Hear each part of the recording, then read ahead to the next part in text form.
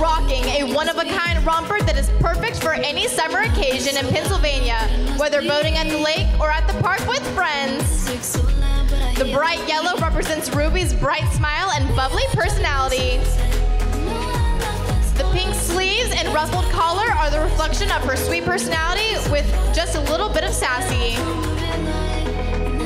This outfit would not be complete without a bow to bring it all together.